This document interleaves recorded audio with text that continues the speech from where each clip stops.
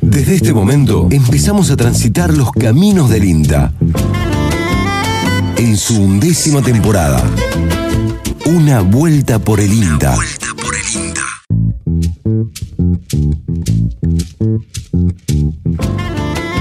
Muy buenos días, feliz domingo. Aquí estamos arrancando una vuelta por el INTA en la M580. Bienvenidos a el programa número 21 del año 2024 aquí en una vuelta por el INTA. Domingo 18 de agosto de 2024, ya la undécimo temporada de una vuelta por el INTA. Buen día en la puesta en el aire, Mariano Brito, el capitán de esta nave.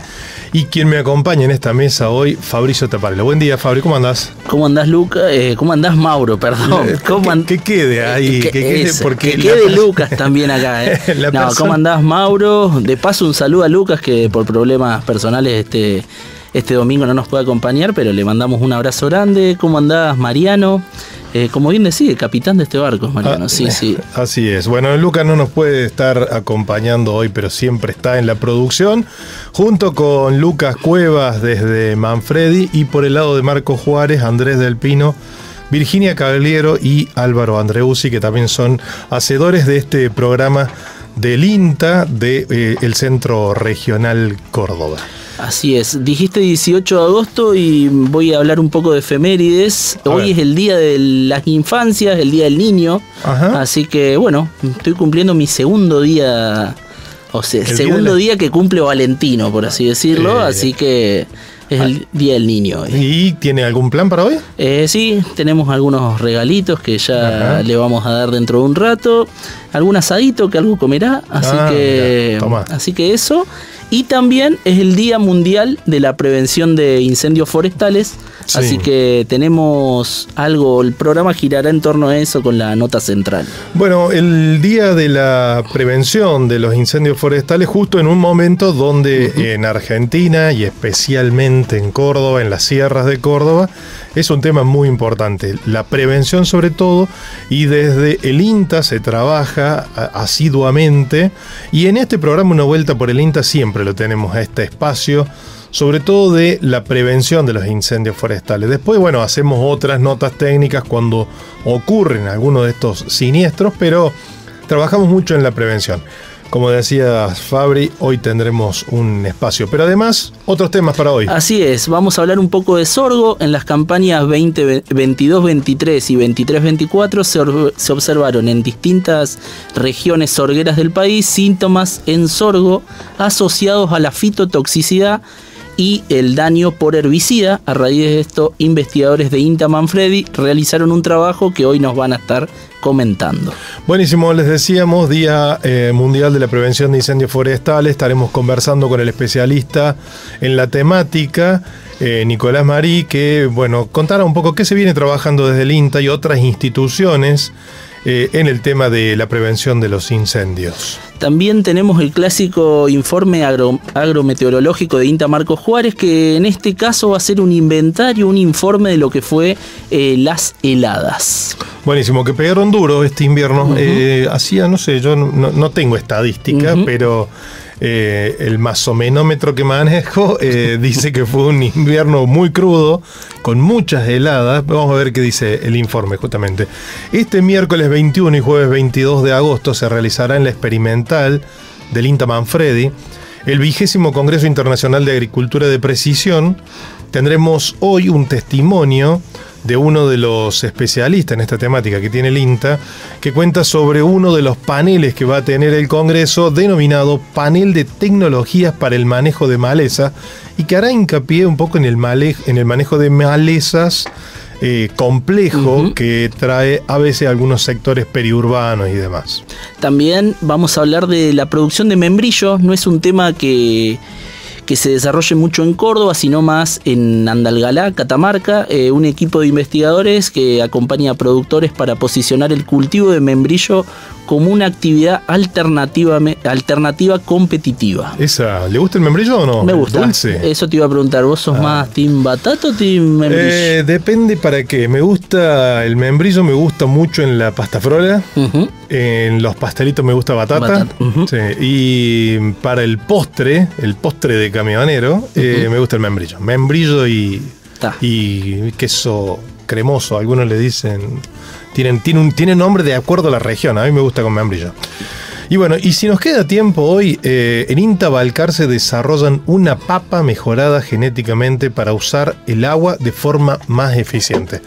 Eh, es uno de los temas que tiene eh, el INTA y bueno, si tenemos tiempo hoy también vamos a estar tratando el tema. Tengo que ser el malo de la película en este momento porque ¿Qué pasó? eh, hasta el programa pasado se sortearon las últimas dos mieles. Ajá. Estamos coordinando entrega con cada uno de los ganadores de cada programa. Sí. Vamos a iniciar la gestión para ver si hay nuevos potes de miel. Seguramente. Eh, pero bueno, este programa ya no habrá sorteo, así que No hablo. habrá sorteo. No habrá sorteo. Sí, me tocó ser hoy el malo de la película. Ay, bueno, veamos entonces cómo puede hacer que la gente participe, porque si no tenemos, Sí. si no tenemos miel da completo. Pero ¿no? bueno, también si quieren participar, nos quieren comentar, eh, pueden hablarlo, hablarnos vía WhatsApp al 3572-528693. Esas son nuestras vías de comunicación. Así que si quieren contactarnos, Y lo- bienvenidos sea. Los ganadores y ganadoras han- ya se han hecho del, del Se han hecho. del frasco. Sí. Sí, la mayoría. Sí, sí, ¿Quedan sí. algunos? Quedan, quedan algunos, pero de los, sobre todo de los últimos programas hubo Quedan algunos todavía por algunos, sí, Bueno. quedan entregar, pero, pero bien hemos entregado en tiempo y forma varios. Bueno, buenísimo. Entonces, este es el primer bloque de apertura. Escuchamos un poquito de música y empezamos a desandar una vuelta por el INTA. Violinista de los montes, músico del campo nuestro, se te va yendo la vida entre zambas y recuerdos.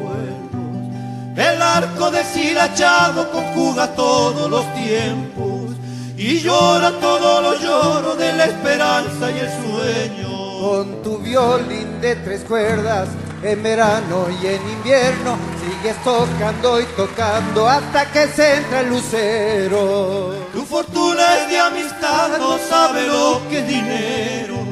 Los sentires que te animan están más allá del tiempo.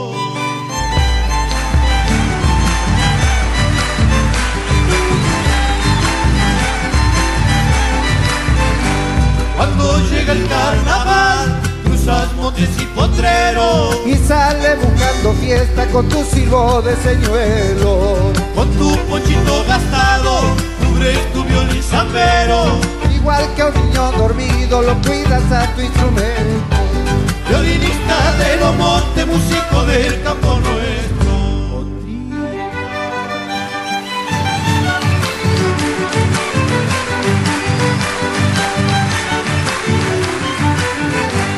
Y así te pasan las horas entre danza y zapateo.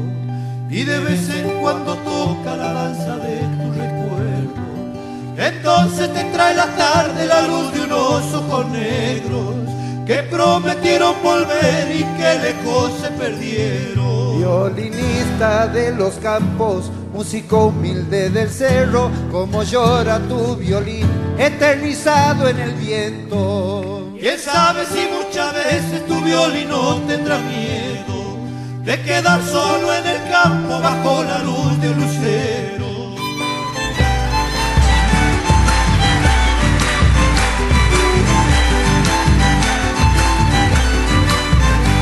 Cuando llega el carnaval, cruzas montes y potreros. Y sale buscando fiesta con tu silbo de señuelo.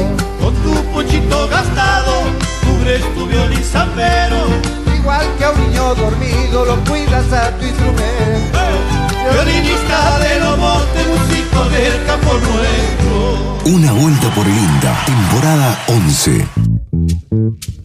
Segundo bloque de una vuelta por el INTA. En la apertura, Mauro te comentaba que íbamos a hablar sobre un trabajo que habían hecho investigadores de INTA Manfredi sobre el sorgo, puntualmente sobre la fitotoxicidad.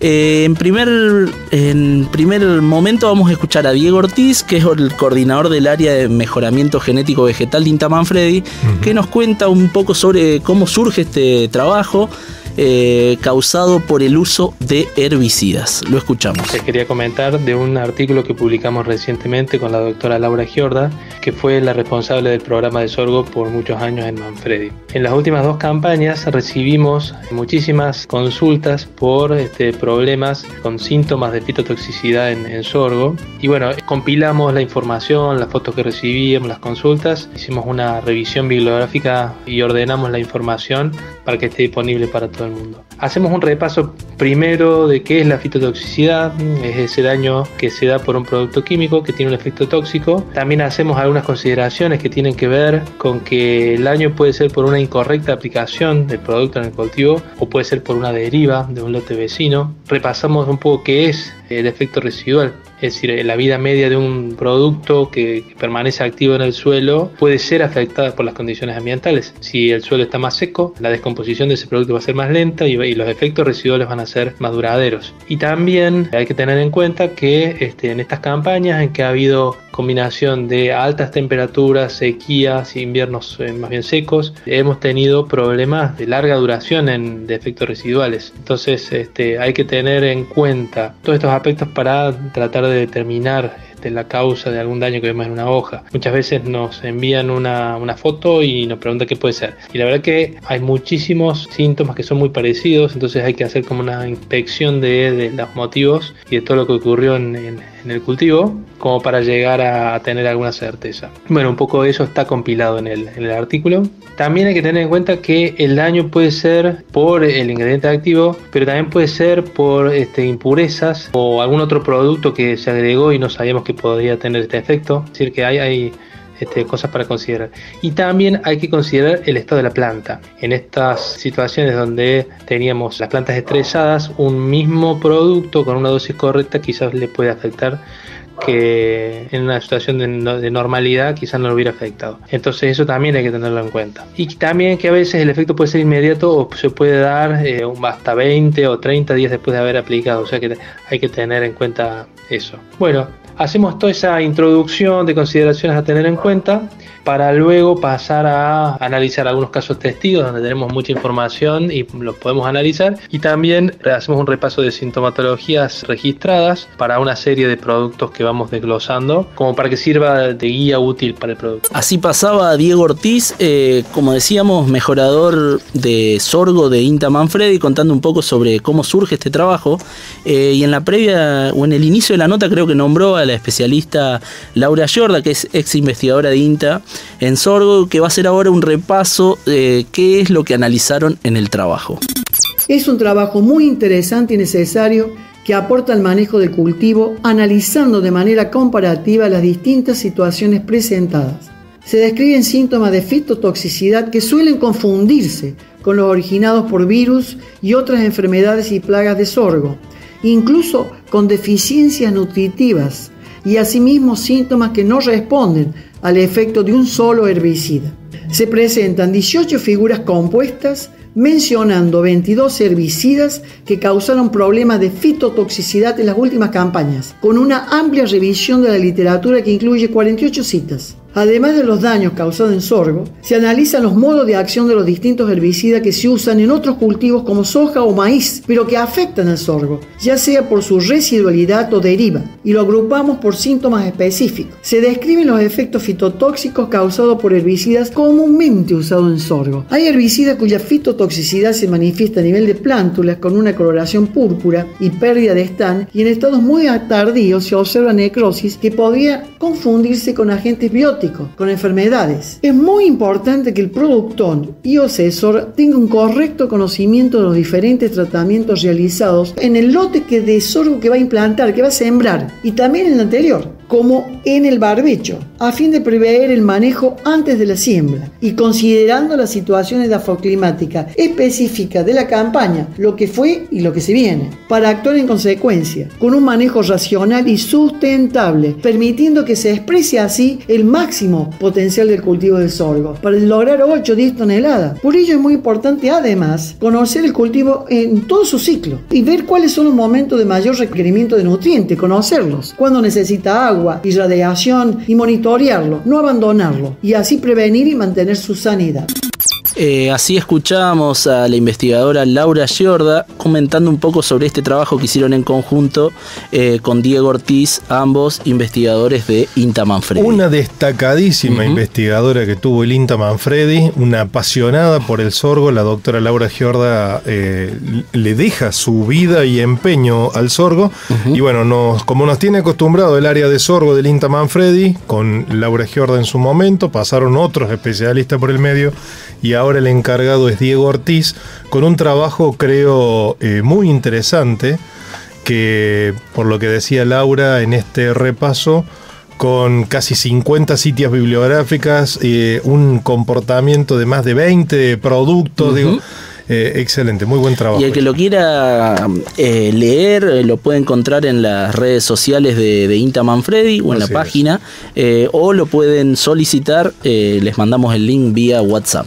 Recuerden que la página web del Inta Manfredi está dentro del sitio Argentina Gobar barra Inta Manfredi, ahí pueden llegar al sitio donde tenemos todo el contenido. Cerramos el bloque, Fabri. Dale, escuchamos un, un poco de música y volvemos. Dale.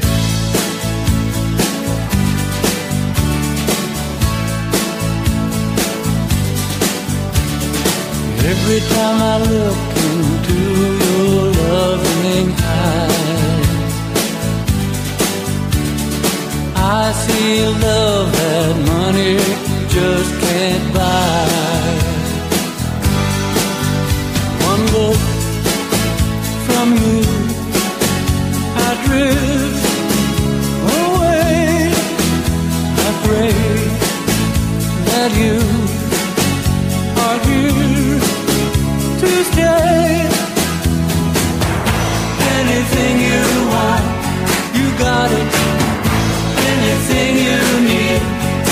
got it.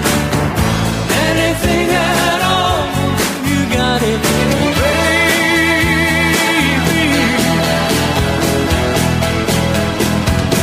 Every time I hold you, I begin to understand. Everything about you tells me I'm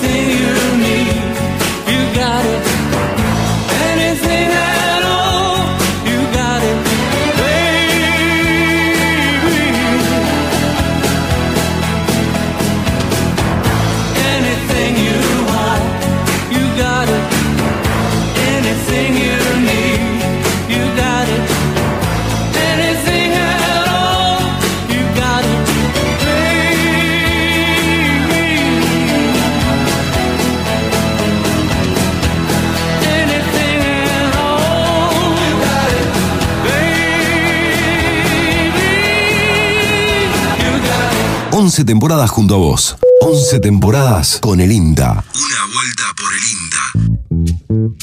Tercer bloque de una vuelta por el INTA, domingo 18 de agosto y hoy decíamos en la apertura que esta este, esta semana en Manfredi se va a llevar a cabo el 20 Congreso, el vigésimo Congreso Internacional de Agricultura de Precisión. Será un evento de capacitación técnica, de actualización, sobre todo para productores, asesores, para todo el ámbito productivo de la agricultura especialmente.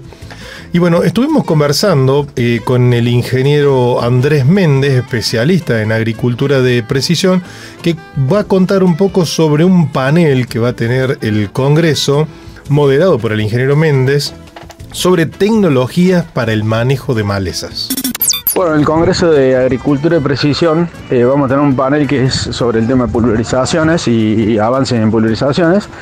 Eh, nosotros lo que vamos a estar tratando es una nueva forma de aplicar productos químicos eh, con muchas tecnologías que hay disponibles en el mercado, armando lo que es un equipo de trabajo, un ecosistema de trabajo tecnológico para mostrar la eficiencia de la pulverización y poder eh, decir que no hace falta eh, estar poniendo metros en lo que respecta a las aplicaciones de agroquímicos, sino realizar bien las aplicaciones. Cuando uno realiza bien las aplicaciones, eh, prácticamente no hay deriva. Nosotros hemos detectado que en algunos casos menos de 30 metros, en condiciones de, una buena realización o un leve viento, por ejemplo, pero si la gota está, bi- está bien, el tamaño de gota, la humedad relativa, la temperatura, que lo indica la estación meteorológica, eh, la aplicación se hace bien. Obviamente que vamos a ir viendo desde las pastillas que tiene el equipo a la tecnología de estaciones meteorológicas, eh, nanotecnología que, que tienen los productos químicos, eh, los equipamientos, tanto WIDIT como cámaras de- que detectan las malezas, son equipamientos que hacen que una vez, una vez que, el, que el cultivo o las malezas están controladas, que por lo general es el segundo o tercer año, se empieza a ahorrar hasta el 90% de producto químico. Bueno, eso es justamente lo que queremos mostrar, como la tecnología se paga sola también, pero que el tratar bien todo el tema tecnológico que tenga trazabilidad, que la- esa trazabilidad la pueda estar viendo el vecino, la puede estar viendo el, el- productor, el aplicador, le pueden ver todos. Con eso logramos que, eh, que en esa, misma trazabilidad nos permite realizar los trabajos que tenemos que realizar en cualquier lugar, en cualquier campo, digamos. ¿no? Eh, bueno, básicamente eh, también vamos a mostrar la digitalización de las recetas que lo tiene el gobierno de Córdoba. Ellos tienen eh, en, su proyecto, en su programa, eh, lo que han logrado es digitalizar las recetas de las aplicaciones de, agro- de agroquímicos en un 30-40% eh, de las zonas y de productores, con lo cual uno puede estar viendo en, eh, en tiempo real y dejar grabada la aplicación. Esto permite acceder a mercados diferenciales y estos mercados diferenciales también lo vamos a estar mostrando de cómo se puede acceder y, y que el productor sea a su vez más rentable. Bueno, ahí estaba Andrés Méndez contando un poco sobre este panel, que es panel de tecnologías para el manejo de malezas, coordinado por el ingeniero Méndez, y ahí van a estar, bueno, eh, disertantes que hablarán un poco del desafío en el proceso de aplicación. Eh, Lucas de la Mayores será el encargado, mapeo digital de malezas. Eh, bueno, habrá algunas tecnologías de aplicación dirigida eh, impacto inteligente, inteligencia artificial en pulverizadora y sistema de trazabilidad digital para las buenas prácticas eh, fitosanitarias que estará a cargo de Gustavo Balbi del Ministerio de Bioagroindustria de la provincia de Córdoba. Eh, recordemos, Mauro, eh, más allá de que es muy interesante la temática, que el que quiera inscribirse todavía tiene tiempo, Sí. está a tiempo, es una jornada libre y gratuita, pero con inscripción previa. Así es, ya pasó 500 inscriptos a sí. lo que iba hasta el día de ayer sábado, más de 500 inscriptos, así que bueno, pueden hacerlo para reservar el Eh, lugar. ¿sabés que te voy a tirar otro bloquecito más que me parece que está bueno e interesante, que va a ser el bloque de drones, Sí. eh, que va a haber eh, charlas sobre innovaciones tecnológicas para el control preciso, calidad de aplicaciones, estado de las normativas que rigen para la aplicación de fitosanitarios, van a ser algunos de los, de los temas que van a ver en, en los paneles y también hablar un poco de lo que va a ser la dinámica de...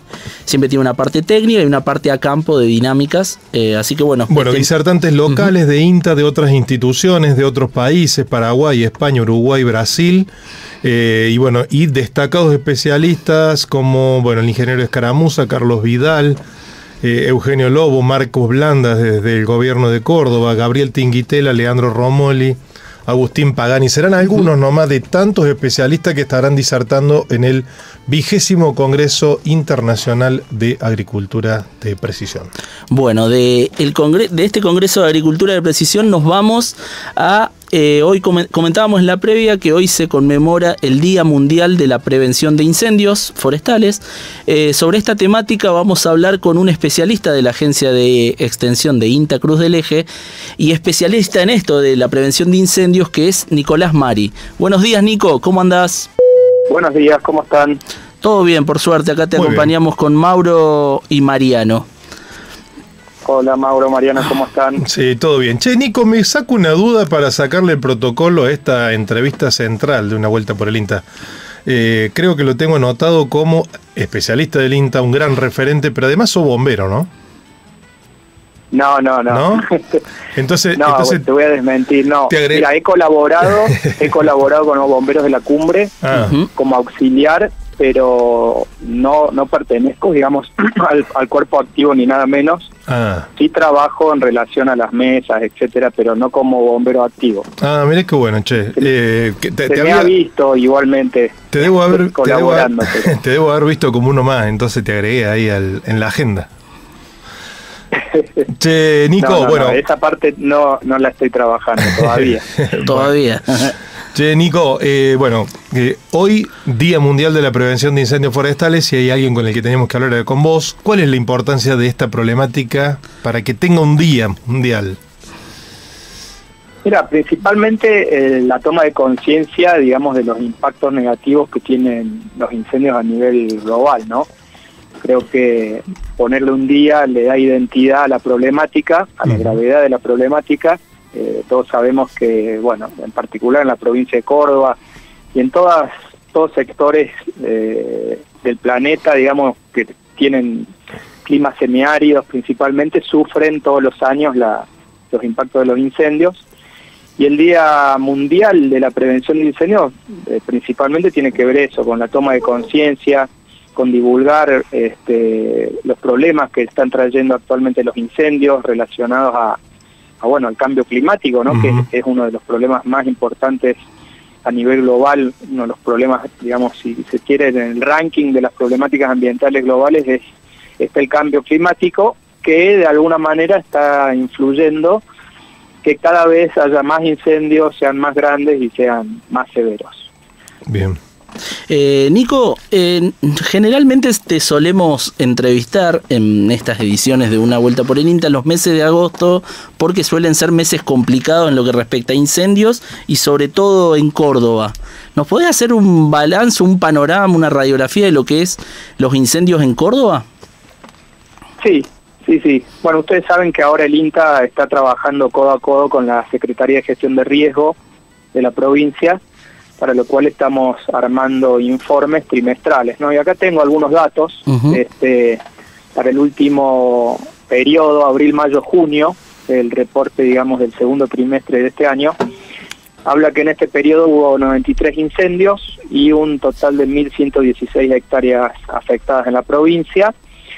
Si lo comparamos con el periodo, el mismo periodo del 2023, es llamativo que el junio de este año está un 350% por encima Mm. en la cantidad de incendios que el junio del año pasado. ¿350% eh, dijiste? Sí, o sea, este mes de junio pasado, que es el, el último mes que tenemos relevado, los datos de julio y agosto y septiembre salen en septiembre, ¿no? Por eso te paso el dato que tenemos de abril a junio, indica que hubo una mayor cantidad muy por encima del, del mes, si lo comparamos con el, me- el mes del año anterior. Pero el, llamo- el dato llamativo es que en términos de superficie bajó un 7%. Es decir, Ujú. ¿qué te está diciendo este dato? Por lo menos para, para junio, ¿no? Este, te está diciendo que hay como una mayor inten- eh, intencionalidad, o sea, hay una mayor ocurrencia, pero están siendo combatidos de tal forma que se redujo la superficie. A pesar de que hay más, hay menos superficie comparada con el mismo mes del año pasado. Esto se repite en gran medida con eh, todos los meses. Estamos viendo que en cantidad hay un aumento, pero en superficie hay una disminución. ¿no? Entonces, ahí podemos reflexionar un poco. Eh, la provincia está trabajando este, con resoluciones más rápidas a campo, están más organizados, están más ordenados. Esto hoy estuve hablando con gente experta de la Secretaría de Gestión de Riesgo. Este, encuentran que hay una mayor coordinación de la mano de que hubo una gran inversión también en este tema, eh, con la incorporación de las ETAC. Y además tienen más eh, información relevada de distintas localidades de la interfase urbano-rural, tienen alrededor de 50 localidades relevadas, lo cual esta información de base también les permite estar más organizados a la hora de, las operaciones. ¿no? Entonces, esas cifras de alguna manera reflejan que eh, a pesar de que hay un aumento en la cantidad, se los está controlando mejor a, los incendios. ¿Cuál es el peor momento que, que tiene, digamos, al menos acá en Córdoba hoy para, para los incendios? Digo, o que más hay que trabajar. No, históricamente, digamos, o sea, la tendencia es que en agosto y septiembre son los peores meses en la mayor cantidad Claro. y mayor superficie quemada, ¿no? Entonces, en este momento, digamos, eh, estamos atravesando el peor momento junto con el mes que viene. A partir del mes que viene empiezan a, a decaer y- estadísticamente tanto la cantidad como la superficie, ¿no? Por eso, este, bueno, en septiembre hablaremos de agosto, ¿no? A ver cómo nos fue Claro. Pero eh, básicamente con estos números que le estoy diciendo es no no no esperamos que disminuya la cantidad pero sí nos tenemos que poner contentos de que los incendios están siendo controlados más rápido por lo cual efectivamente la superficie quemada disminuye no entonces de la mano de ese dato significa que los impactos asociados también disminuyen no entonces de alguna manera hay que verlo con buenos ojos a esto este no quita que bueno que pueda haber algún evento extremo ¿no es cierto? pero evidentemente hay una, una mayor organización. Dicho esto, eh, me animo a decir porque ustedes saben que acá en el INTA hemos trabajado con una serie histórica de más de 30 años de área quemada y con esos datos hemos visto que cada cinco años, cinco o seis años, se repite, digamos, un acontecimiento de, evento extremo. Y si consideramos este, que en el 2020 tuvimos un acontecimiento extremo, un pico, digamos, histórico, entre este año y el año que viene se podría este, podría suceder que haya, digamos, se repita un ciclo de, de grandes eventos. Esperemos que no, por supuesto, pero hay que estar atentos a estos ciclos, digamos, que se vienen dando históricamente. ¿no? ¿Y eso se debe a la cantidad de combustible que, que deja, eh, eh, a ver, la, la forestación, el pastoreo, la sierra o tiene algún otro, alguna otra razón? Bueno, hay seguramente sí, hay ciclos, digamos, que obedecen a, a pulsos de precipitación y temperatura, que generalmente se dice que, eh, o se prevé que después de ciclos húmedos haya una mayor carga de combustibles en los ecosistemas y eh, luego de que sucedan esos ciclos húmedos y, ve- y vengan ciclos más secos, se encuentren los, ex- los, los ecosistemas con grandes cargas de combustible, ¿no? Claro. Eso puede estar obedeciendo a estos ciclos, ¿sí?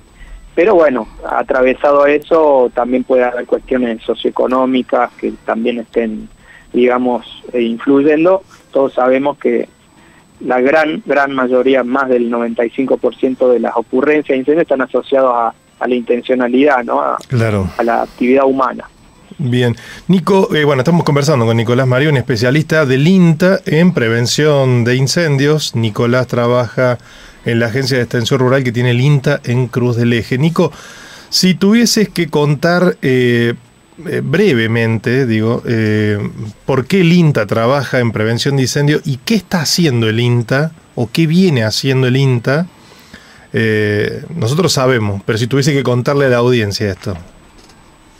Bueno, para dar un pantallazo general, el INTA, eh, como todo el mundo sabe, tiene agencias de extensión, institutos de investigación en todo el país, ¿no? Tenemos en cada provincia eh, varias patas del INTA que trabajan distintas temáticas. Una de las temáticas que en muchos lugares del país Se trabaja en tema fuego. Eh, en los últimos años, a través de los proyectos estructurales, el INTA ha de alguna manera instalado la problemática por una demanda de los territorios.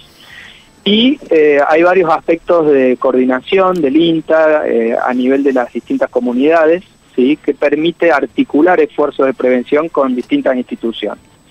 Nosotros acá en Córdoba nos hemos contagiado de, varias experiencias que se han dado con éxito a lo largo del país y en ese camino estamos, en particular este, tratando de coordinar con las defensas civiles, con los bomberos voluntarios, con la Secretaría de Gestión de Riesgo, como le comentaba acá en la provincia, con distintas instituciones que eh, toman esta problemática, que trabajan esta problemática, y el INTA es un actor, si se quiere, bastante importante en unir las partes, en promover la coordinación, la organización en materia de prevención pri- principalmente, y más recientemente, como lo hemos contado varias veces, es que estamos trabajando con asociaciones de productores, con organizaciones no gubernamentales en distintas partes de la provincia, para justamente coordinar esfuerzos, eh, proponer trabajos a campo, buscar este, el relacionamiento entre propietarios de campos, eh, bomberos voluntarios, eh, instituciones afines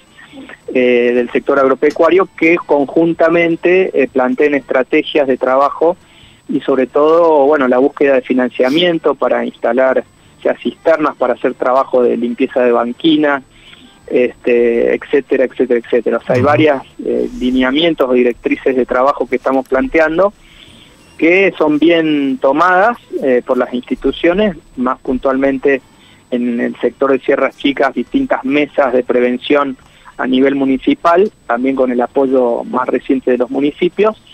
Y bueno, de alguna manera eh, la coordinación de esos trabajos empieza a dar sus frutos, hay una, una visión más conjunta del problema y eso en definitiva está trayendo buenos resultados. Eh, bueno. Esos números que indiqué este, al principio de alguna manera se ven reflejados por este tipo de coordinación. Así que nosotros de nuestra parte muy, muy contentos de, de poder colaborar y de esta manera ir articulando los esfuerzos. ¿no? Qué bueno. Nico, viste que comentabas que estaban trabajando con eh, las asociaciones o instituciones de sierras chicas. En esas eh, vienen realizando un trabajo de relevamiento con mediante distintas mesas de emergencia y en algunas están evaluando caminos y la posibilidad de llevar agua a algunos sitios en altura. Contanos un poco sobre este relevamiento.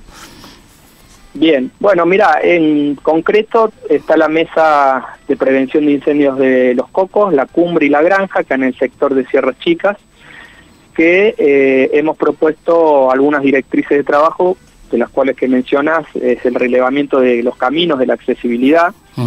Hay muchos lugares eh, muy lejanos, inaccesibles en las sierras, con caminos eh, en muy mal estado caminos que hemos identificado que son útiles para acortar los tiempos, digamos, de respuesta de los bomberos de un lugar al otro de la sierra.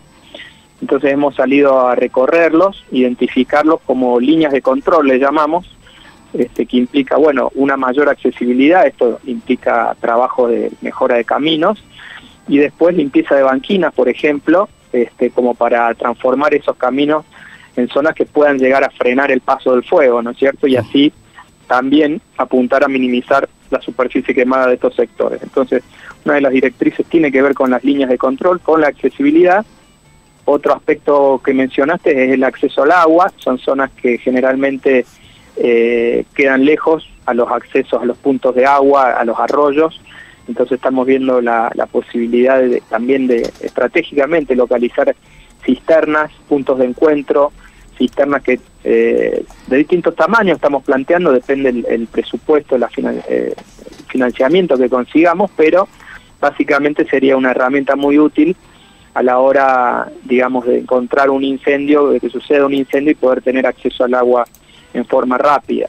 Este, de la mano de esto, básicamente otro de los componentes de directrices que estamos planteando tiene que ver con el manejo de, la carga combustible. Este, Es el principal medio, los pastizales en esta zona, el principal medio de propagación, entonces también poner el ojo, digamos, en el manejo agropecuario de estos ecosistemas para ver cómo poder este, de alguna manera reducir en los sectores que sea necesario la carga de combustible.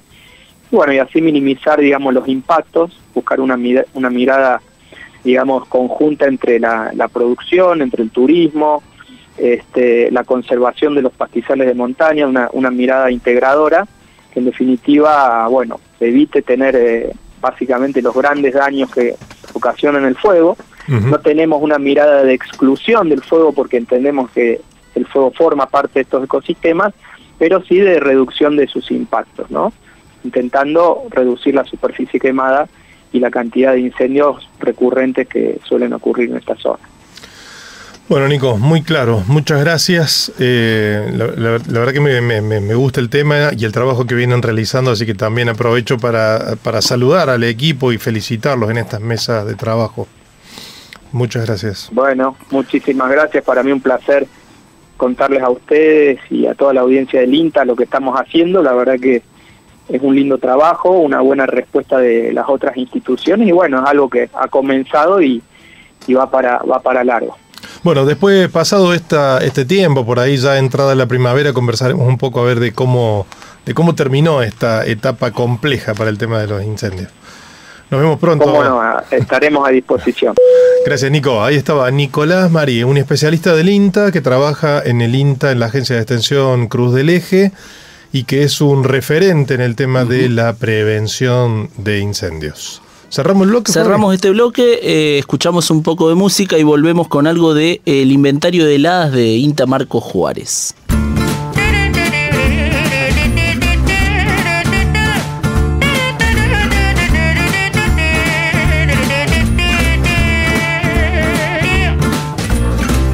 Donnez-moi une suite au Ritz, je n'en veux pas des bijoux de chez Chanel, je n'en veux pas. Donnez-moi une limousine, j'en ferai quoi? Offrez-moi du personnel, j'en ferai quoi? Un manoir à Neuchâtel, ce n'est pas pour moi. Offrez-moi la tour Eiffel, j'en ferai quoi?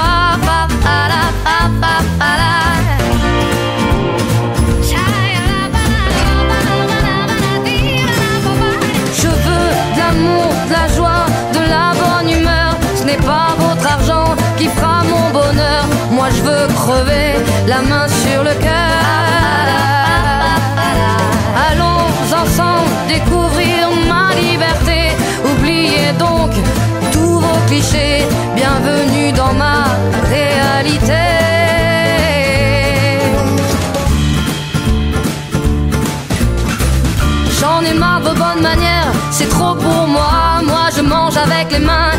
Suis comme ça. Je parle fort et je suis France, excusez-moi.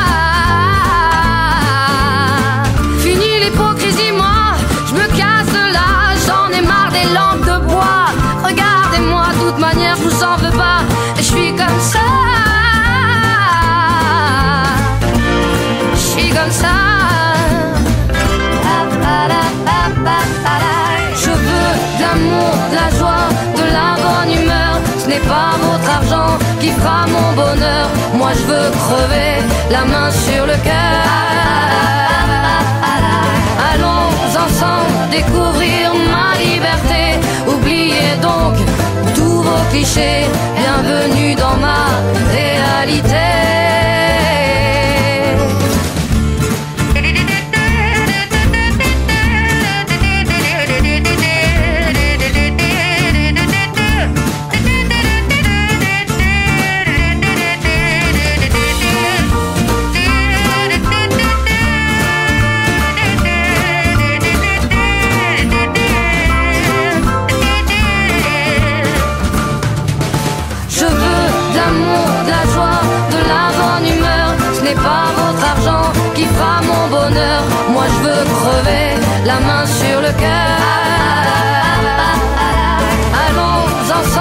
découvrir ma liberté. Oubliez donc tous vos clichés.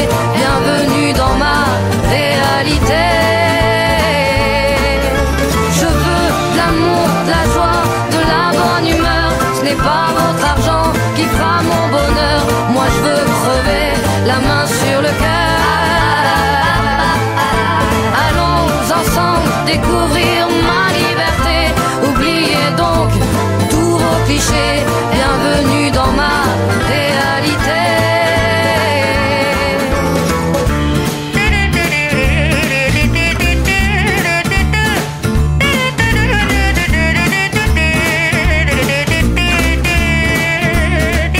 Estás escuchando Una Vuelta por el INTA. Siempre en universidad. Tu propia voz. Cuarto y último bloque de una vuelta por el INTA. Aquí estamos hoy sin Lucas Viale, pero con Fabricio Taparedo en esta mesa, aquí en la M580. Eh, tenemos otro tema que lo venías anticipando, ¿no? Así es, el, típico informe agroclimático de, de INTA Marco Juárez, en este caso viene en formato de eh, un inventario, un informe de lo que serían las heladas, Eh, lo va a presentar Andrés del Pino y el que habla es Álvaro Andreucci, lo escuchamos. Como siempre, desde el INTA Marco Juárez, el técnico agropecuario Álvaro Andreucci nos hace un panorama de lo que han sido las heladas, que prácticamente ha sido el gran problema climático, lo que más nos ha llamado la atención en estas últimas semanas. En algunos casos más grave, en algunos casos más intensa, en lo que va de agosto y todo lo que fue el mes de julio. Nos hace una suerte de inventario de heladas que no afectan en este caso tanto a lo que es el cultivo de trigo, ya que está en sus primeras etapas, en lo que se llama comúnmente su época de pasto, pero sí más adelante podría llegar a afectarlo. No obstante, no se prevén mayores heladas ya en el transcurso de fines de agosto y principios de septiembre. Ahora, en fin, si hablamos de riesgos que pudiera tener el cultivo de trigo, los va a enfrentar más adelante, ya en otros estadios de crecimiento, cuando se prevé que no haya una gran cantidad de lluvias que necesitarían muy bien las napas para proveer un poco de perfil de humedad al suelo, para que la pueda aprovechar en etapas decisivas para el crecimiento del cultivo de trigo. Entonces, de esta manera no hubo tanto problema con la helada para el cultivo de trigo, sí para todos nosotros que lo hemos sufrido, pero el trigo verá el desafío de crecer con muy pocas lluvias que se están previendo. Esto nos comentaba entonces el técnico Álvaro Andreucci. Un poco a modo de resumen, ya transitada la primera quincena del mes de agosto, vamos a intentar caracterizar este pasado otoño y este presente invierno del 2024 en cuanto al número de heladas y al periodo de heladas de la zona de influencia de la experimental de Marco Juárez. Este análisis está hecho con registros diarios de la estación meteorológica convencional correspondiente al área de suelos y con datos medidos por el observador Patricio Barrios. En principio, comentarles que este año no hubo heladas en el mes de abril, consideradas tempranas. El periodo de heladas comenzó el día 9 de mayo. En el mes de mayo se registraron 12 eventos, entre los cuales se puede resaltar una semana de eventos consecutivos, desde el día 13 al día 20. Si bien los valores no fueron muy intensos, hubo una seguidilla ahí en el mes de mayo. Luego tuvimos un mes de junio algo atípico, con una primera quincena sin heladas y con temperaturas algo elevadas para la época, inestabilidad y muy poquitas precipitaciones. El mes de junio finaliza con 8 días con heladas y posterior a eso nos encontramos con un julio en el cual hubo 19 eventos de heladas, superando ampliamente el promedio para este mes, y se desarrolla un fenómeno para resaltar. Desde el día 4 al día 15 se registran 11 eventos de heladas consecutivos y muy intensos con valores de menos 8 grados 7 décimas, menos 8 grados 2 décimas, menos 9,2, siendo registrado el día más frío del año o la mínima, la temperatura mínima absoluta el día 10 de julio con un valor de 10 grados 8 décimas bajo cero y con una duración del fenómeno de alrededor de 14 horas. Ahí tenemos el periodo más frío, más intenso y la principal anomalía de este invierno. Y así como julio termina con 19 días con heladas, el mes de agosto en su primera quincena ya acumula 6 días de un promedio de 10 Así que estamos eh, cerquita del promedio. Si uno toma la serie 1987-2023, Marco Juárez tiene un promedio de heladas de, de 47 días y hasta la fecha contabilizamos 44 días con heladas.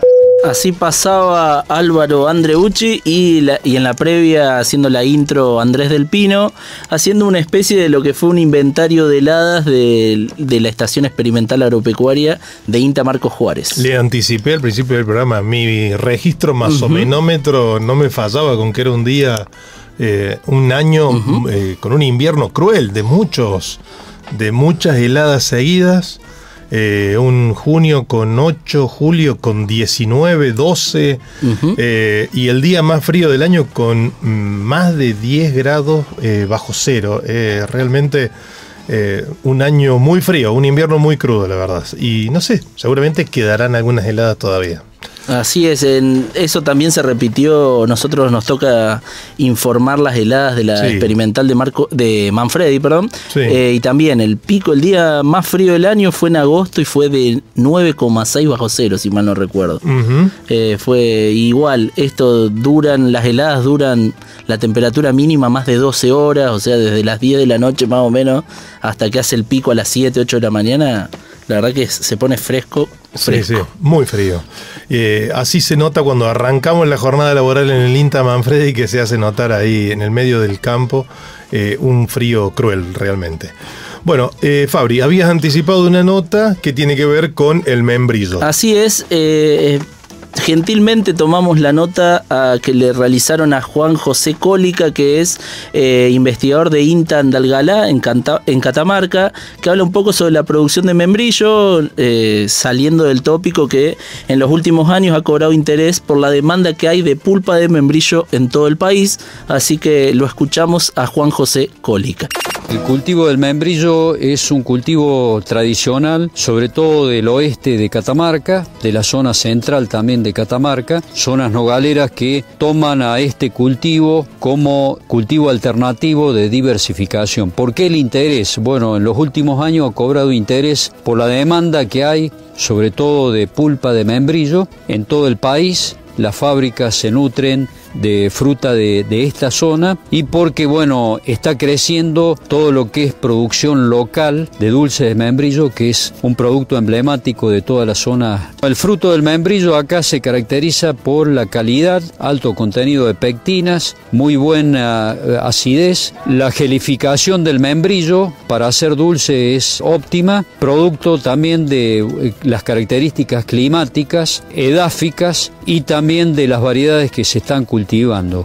Eh, actualmente se está difundiendo la variedad INTA 147, que es una obtención de INTA de Mendoza. En toda la zona se está difundiendo tanto esta variedad como la Champion y otras variedades que estamos poniendo a disposición de los productores, porque bueno, es un cultivo eh, muy rústico, eh, menor demanda hídrica y además fácil de realizar. Entre otras cosas, Catamarca produce actualmente unas 5.000 a 6.000 toneladas, de las cuales gran parte se exportan o salen fuera de la provincia y la producción o la, la superficie va en aumento eh, respecto a años anteriores. Es uno de los cultivos que más se ha expandido. Son buenas las expectativas de mercado, hay demanda tanto en el mercado nacional como internacional. Tenemos posibilidad también de producir membrillo para exportación, que es uno de los mercados, yo creo que a futuro para el mercado internacional hay mucha demanda, y también en el mercado interno, porque el dulce de membrillo y todos los productos del membrillo que se usan mucho en confitería, hoy en día tienen demanda. Lógicamente que para esto eh, los productores se están agrupando en cooperativas y asociaciones de productores para hacer eh, de esto un cultivo que puedan tener mejor rentabilidad a través del procesamiento de la fruta, la industrialización. La asistencia técnica es en forma permanente, no solo en el cultivo, sino también en toda la parte de industria. Nosotros tenemos un trabajo de hace varios años de caracterización del dulce de membrillo y de la calidad de estos dulces, de las distintas variedades que se están cultivando y eso se transmite a los productores.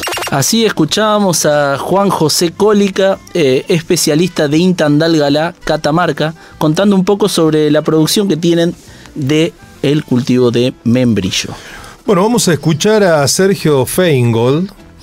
Creo que no nos da el tiempo, creo. Nos está haciendo. Mariano señas.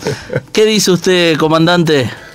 Eh, me parece que lo vamos a dejar porque tenemos saludos de oyentes. No, no, entonces. Tenemos el popurrí o el salpicadito. Lo dejamos a Sergio Feingol eh, para el próximo domingo. Pero tirame, tirame un avance de qué va lo a ser la habíamos nota. anticipado, lo habíamos anticipado al principio del programa a Sergio Feingol que desde INTA Valcoarce desarrollan una papa mejorada genéticamente para usar el agua de forma más eficiente.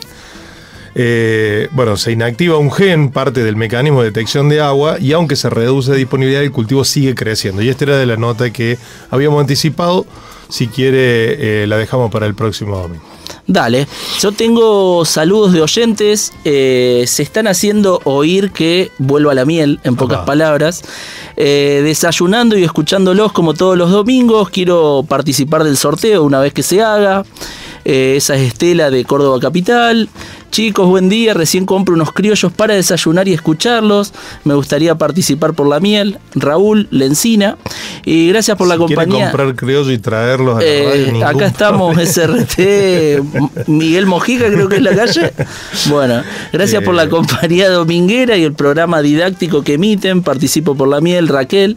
Así que son algunos de los oyentes que creo que se están haciendo oír con este pedido de que vuelva a la miel. Bueno, Estela Moreno, Raúl Lencina, eh, Raquel, eh, bueno, a todos los que nos van escribiendo a través del WhatsApp, de una vuelta por el Insta en Facebook, eh, muchas gracias por seguir este programa, por los saludos. Eh, así que bueno, seguramente vamos a tener pronto eh, el sorteo de la miel.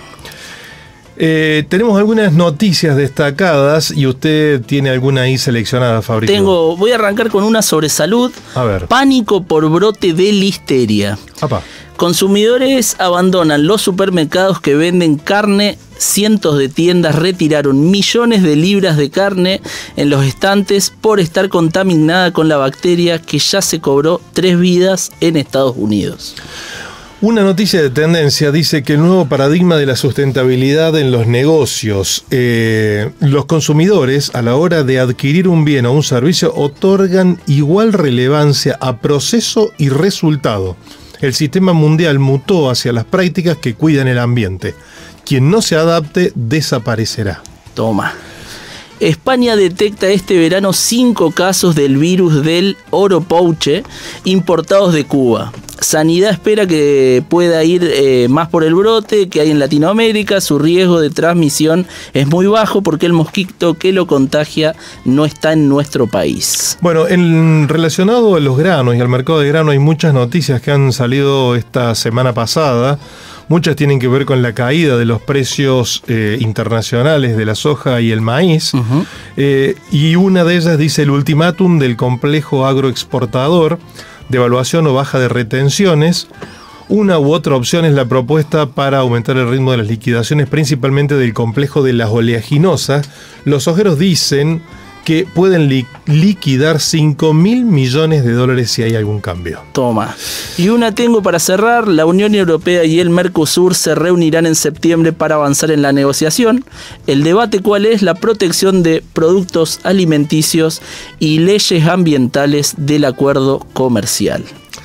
Muy bien, estas son algunas de las noticias destacadas que han salido en los medios nacionales esta semana pasada y rescatamos para comentar aquí en una vuelta por el Insta. ¿Cerramos el programa? Eh, cerramos el programa. Quiero mandar el saludo, obviamente, conmemorando el día, el Día del Niño, el Día de las Infancias. eh, y a los que hacedores de este programa, eh, por el lado de Marco Juárez, Virginia Cagliero, eh, Virginia Cagliero, Álvaro Andreucho y Andrés del Pino. Por el lado de Manfredi, a Lucas Cuevas. eh, Lucas Viale, que hoy no nos pudo acompañar. eh, Mauro Bianco, que está sentado al lado mío. Y quien les habla, Fabricio Taparelo. Y el que está comandando, como siempre, el barco, eh, Mariano Britos. No sé si usted quiere mandar algún saludo o algo. Para el cierre y aprovechando el Día de las Infancias, un saludo para Fermín, que estuvo Eh, haciendo totalmente, sí. un hermoso partido esta semana, así que va el saludo cariñoso y para toda la familia. Esto es todo por hoy. Cerramos aquí este domingo de una vuelta por el INTA. Nos volvemos a encontrar el próximo domingo. Chau, chau. Chau. Hasta aquí, una vuelta por el INTA. Por Universidad, tu propia voz.